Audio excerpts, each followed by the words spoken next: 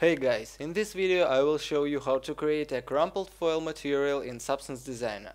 It's a quick and simple video so you don't need to be a professional to understand it. I used to work with EasyNode, but you can add nodes through regular spacebar menu. I attached a link to EasyNode and ID for preset which I created for this video in description.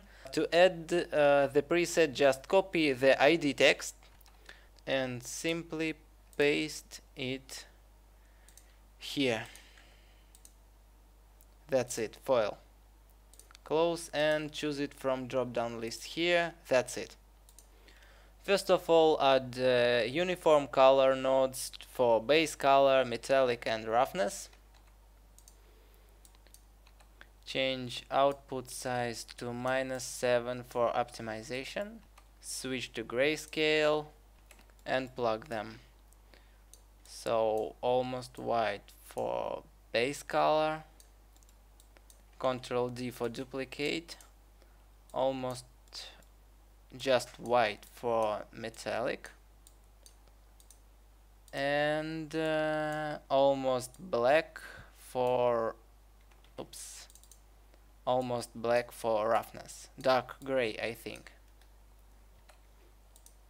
So that's what we have now let's add a blend node, a normal map, set normal to something like 10.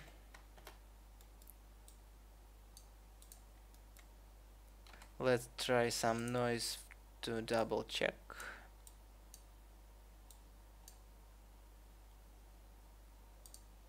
Yes, now it's working. A bit to intensity too intensive.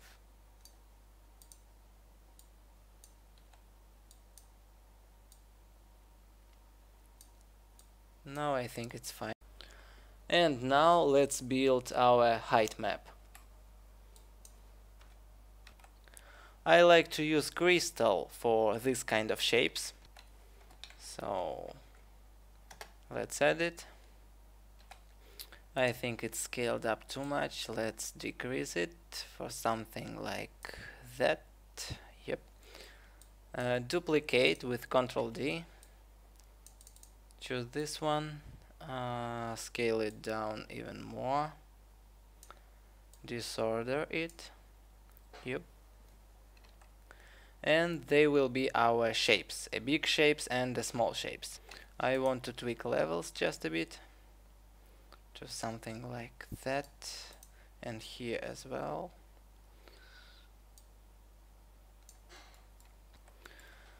Now I want to warp them. I will warp them with plasma map. Scale down. Then blur it. Too much and let's warp a big shapes first. Plug it here.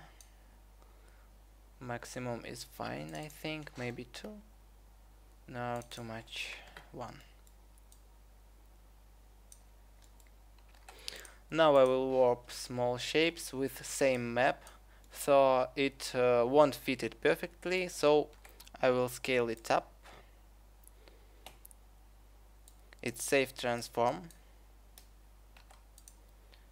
Let's pick 3 and uh, 90 degrees rotation and plug it here.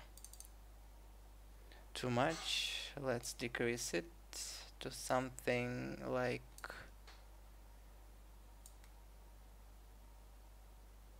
yeah to something like that. And now let's blend them together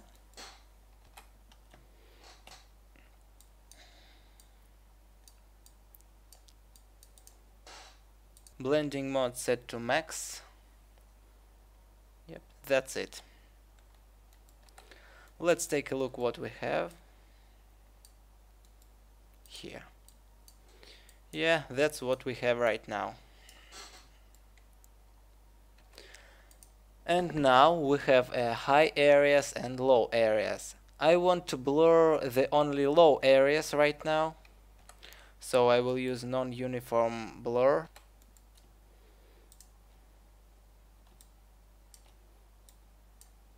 and I will use the same map uh, for a blur map. Excuse me as a blur map. Non-uniform blur works this way. Uh, what is closer to white color will be blurred more. What is close to dark color to black color will be blurred less. So uh, to get um, required result I have to invert uh, this map.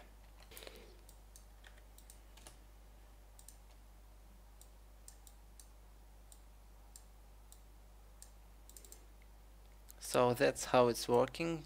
A bit too intensive. I think something like one will be fine. Yeah. More samples, more blades I have I have to tweak levels a bit.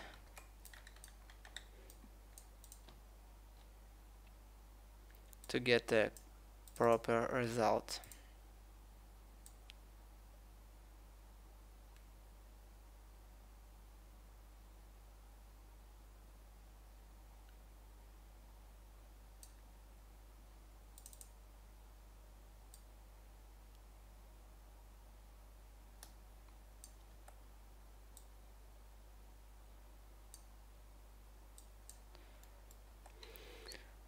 and now I will blur it a bit.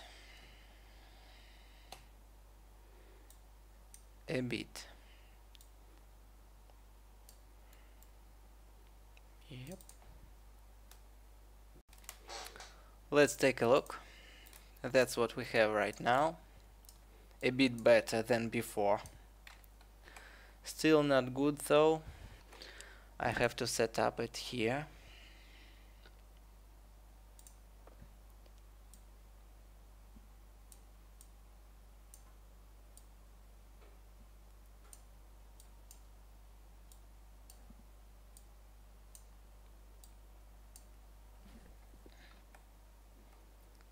Let's take a look closer.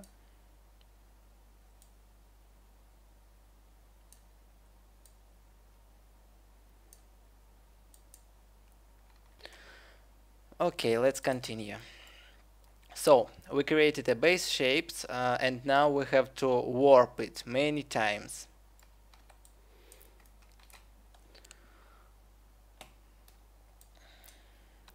First warp will be uh, big shapes warp. I like Perlin noise for this. Scale it down to something like that. Yeah. And blur it.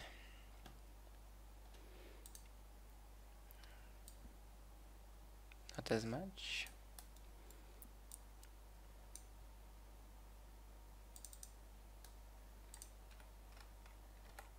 It's too intensive I think something like 0 0.2 will be okay. Yep. Now let's add an extra warp.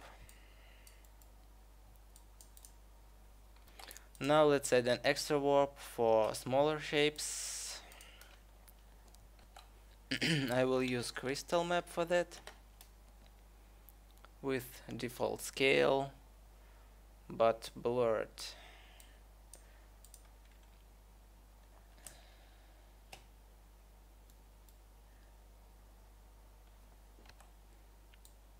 Just a bit.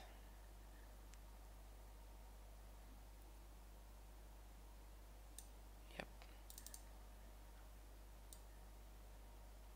Too intensive.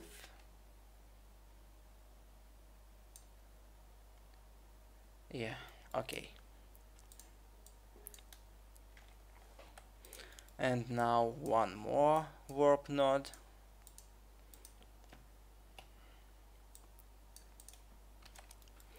With another crystal map. With this one. Scaled up. Blurred. Not too much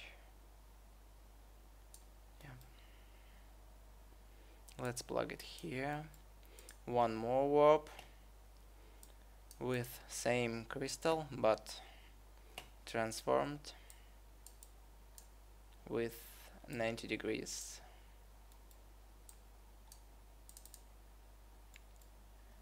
And let's decrease the intensity of warp to something like oops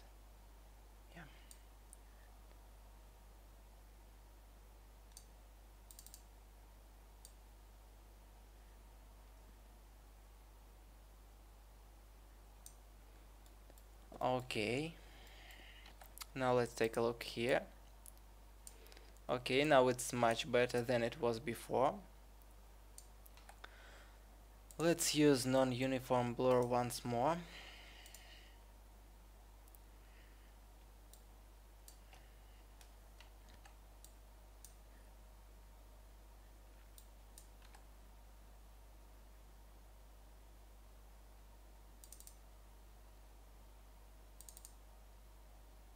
now let's warp it once again with uh, same crystal map but scaled up. And tweaked a disorder. Plug it here. Oops I forgot to blur it. Just a bit.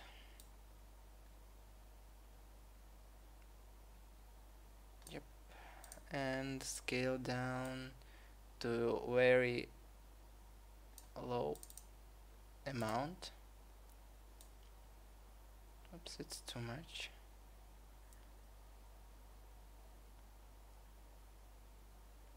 Yep. I think it's fine. Now let's check it with a close-up. Okay that's good I think. Let's check it in 4k uh -huh. I see small dots everywhere so I have to blur it just a little bit.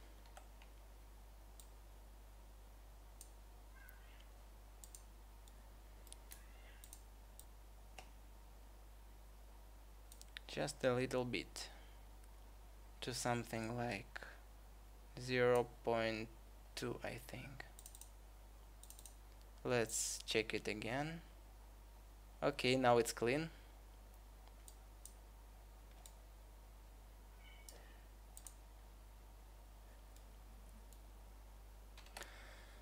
And as a final touch we can add the high pass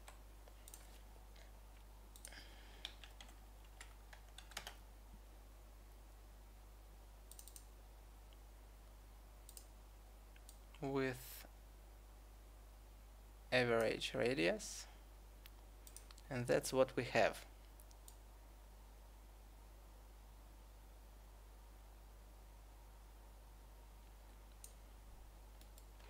You can tweak it to get a proper result but I prefer default one